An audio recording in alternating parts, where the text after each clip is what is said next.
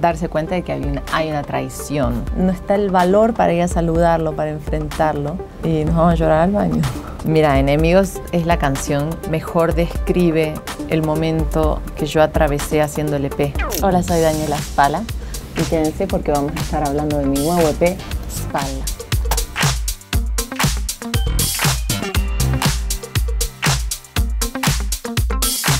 Amigos de Uno TV, como ya vieron, está con nosotros Daniel Espala, estrenando este P que vamos a platicar track by track porque, te lo dije antes de entrar a la entrevista, cada canción merece su tiempo y su espacio porque nos has regalado un EP, pero así, mira, así nos tienes. así gracias. ¿cómo estás? Y gracias por venir. Muy bien, muy contenta, gracias a vos por recibirme, eh, contenta de hablar de este nuevo EP, también en detalle, como decís, ¿no? Canción por canción. Y quizá para empezar, hablar como del concepto general, ¿no? De, eh, decides sacar un EP, estás todavía en, el pleno tour de Dara, sale eh, el EP. ¿Cómo, cómo conceptualizas y, de qué va Espala?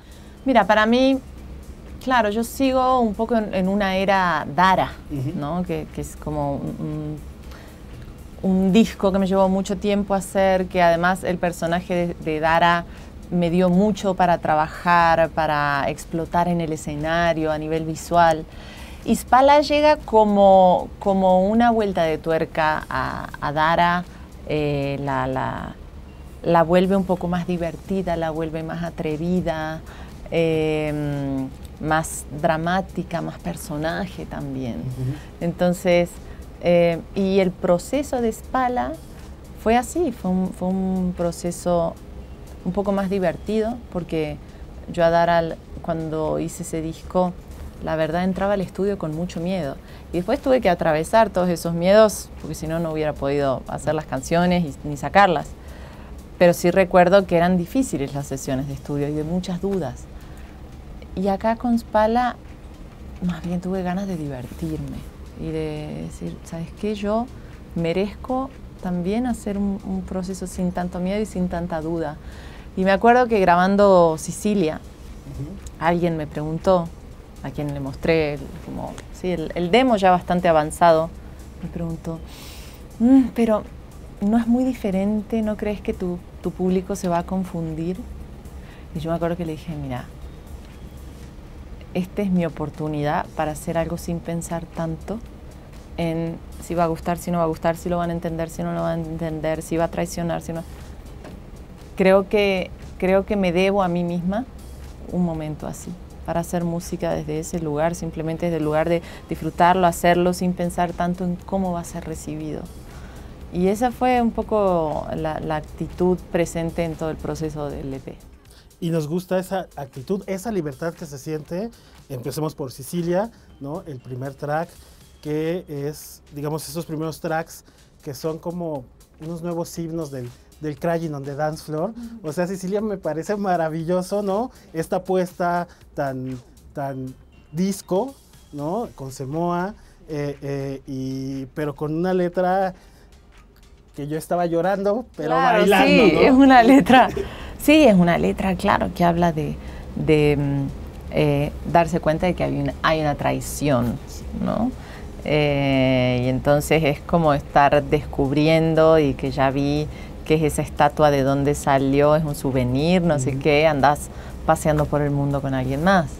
Em, y bueno, estatua, digo, la gente no se, no se trae una estatua de viaje normalmente, pero es que en Sicilia están estos teste di moro, que ah, son, sí, salen en, la serie de, White Lotus, salen, ¿no? Y cuentan un poco la historia. Entonces, por eso digo lo de la estatua. Em, pero sí, es una canción. Yo venía haciendo algunos ejercicios de canciones más upbeat para bailar en algunas sesiones de composición que había tenido eh, desde mayo del año pasado y como que no lograba encontrar del todo mi lugar ahí. Em, algunas eran muy oscuras, otras eran, sí, como algo donde yo no me sentía yo. Y, mm, y Sicilia llegó ya después de mucho ejercitar y ejercitar y ejercitar y cuando hice Sicilia ya dije, ok, por acá es, acá estoy pudiendo hacer algo que tiene un beat para bailar, que tiene una actitud hacia adelante eh, y, me escucho, tengo algo para decir en este, con estos sonidos. ¿no?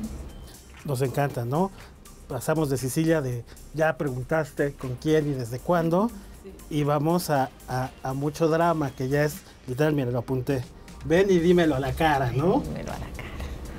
Sí, sí, sigue como con esta cosa desafiante, ¿no? Eh, mucho drama es, le habla de estas personas que nos dejan de hablar, que se desaparecen y que no entendemos por qué. Y los buscamos y no aparecen y, escribimos, pero ¿qué pasó? Y nada. Eh, y entonces es tan incómodo quedarse con la duda, porque uno se hace rollo también, ¿no? De que, ah, ¿será porque dije esto? ¿Será, será que tenía mal aliento? entonces, entonces eh, a mí me pasó con un amigo eh, hace poco y entonces yo decía, pero ¿por qué? O sea, ¿en, dónde? ¿En, qué momento fue que hice algo tan grave como para, para que, eso, para que dejara de responder? Y mm, por eso, venímelo a la cara. Claro. Sí. Y sigue eh, Fiesta, una canción eh, en lo personal, de esas que, te rompen, que es cuando mm. ya pasó el tiempo y ahora te lo encuentras en una fiesta con alguien más. Y literal es, me doy la vuelta y me voy a llorar al baño. ¿No? Y así de, me estás rompiendo, Dani, me estás rompiendo. Sí, sí creo, que esa, creo que Fiesta toca esos puntos. Lo del ir a llorar al baño en medio de la fiesta es algo que, por un lado, suena muy adolescente, ¿no? Pero nos ha seguido pasando en la adultez también, ¿no? Es como, quizás uno no llora tan, ¡Ah! pero sí. Em, fiesta es la continuación de mucho drama. Yo quería hacer desde hace tiempo una canción que se derritiera en otra cosa. Como jugar un poco con esas estructuras de canción, porque la canción por lo general, bueno, tiene como un tempo constante toda la canción, una armonía constante toda la canción. Eh, y acá quería, quería ver qué pasaba si al final de la canción se transformaba en otra cosa. Entonces, mucho drama se transforma en fiesta y la historia de fiesta es una continuación de la historia de mucho drama. Es esta persona que dejaste ver por mucho tiempo no sabes por qué se enojó y de repente lo ves en una fiesta y ya está con otro grupo de amigos o con otra pareja y, no hay, no está el valor para ir a saludarlo, para enfrentarlo y nos vamos a llorar al baño. Nos pasa, nos, pasa. A mis 40 me pasa. Y sigue como este proceso todo mal, que también uno de repente, mm. o el proceso normal de de estos duelos, estas separaciones, esas pérdidas, lo más duro siempre es asumir lo que uno hizo. Y creo que todo mal va por ese lado, ¿no? Sí, asumir la responsabilidad. Sí, y, y, qué sé yo, yo por ejemplo escribiendo canciones, claro, siempre he contado mi versión, ¿no? Y seguramente eh, historias que hablaban de algo muy puntual, si alguien se ha sentido identificado o, ha creído que esa persona era, era, la otra parte de la historia que yo contaba, habrá dicho, bueno, pero no está contando toda la, toda la historia completa, ¿no? Y todo mal es eso porque yo, eh, había una pareja de gente que yo conocía que se habían separado y él empezó a sacar canciones contando una versión que no era la que yo conocía. Eh, y entonces dije, ¿y a dónde está la versión de ella? ¿no? Y, por eso quise, quise escribirla. Yo no sé si ella escribe canciones o no, pero bueno, yo hice una. Le, diste su versión. Le di su versión. claro. Y al final llega Enemigos, ¿no? También en tempo y en, y en, musicalización, mucho más abajo, ¿no? Más este. Más en tono de balada. Más en tono de balada. Y pues ya al final de este proceso, bueno, así vivimos nosotros en el disco, que bueno que tú nos lo explicas, es lo hago por mí, no por hacerte daño. Ya al final dices, sí. si hay que ser enemigos, sí. ya será, ¿no? Mira, Enemigos es la canción que mejor describe el momento que yo atravesé haciendo el EP. Em, cuando, estaba, cuando estaba grabando el EP, estaba justo atravesando por un momento personal donde tenía que aprender a confrontar y a decir cosas incómodas y a decirle a alguien algo que yo sabía que esa persona no quería escuchar, pero que para mí era importante porque era, eh, formaba parte de defender cosas en las que yo creía y que yo necesitaba y, quería.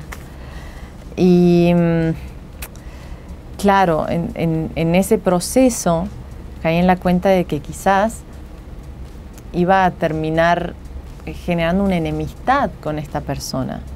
O quizás no una enemistad, enemistad puede ser muy dramático, pero un distanciamiento, una decepción en la otra persona. Y, para mí era muy difícil aceptar eso, aceptar que, la otra persona se sintiera así conmigo. Pero bueno, me di cuenta de que eso, lo, tenía que hacerlo por mí. No, no era ganas de hacerle daño, era también para poder eh, pararme firmemente con lo que quería y sostenerlo. Nos encanta, nos encanta este P, cómo nos guiaste, a dónde nos llevas.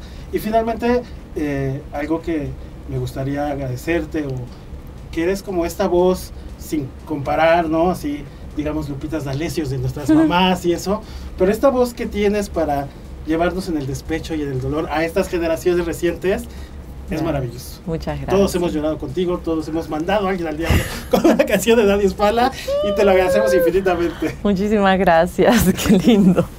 Perfecto, pues amigos de Uno TV, Daniel Espala, vayan a escuchar Espala en todas las plataformas, se los dejamos aquí abajo, denle click, compartan y ahí se ven.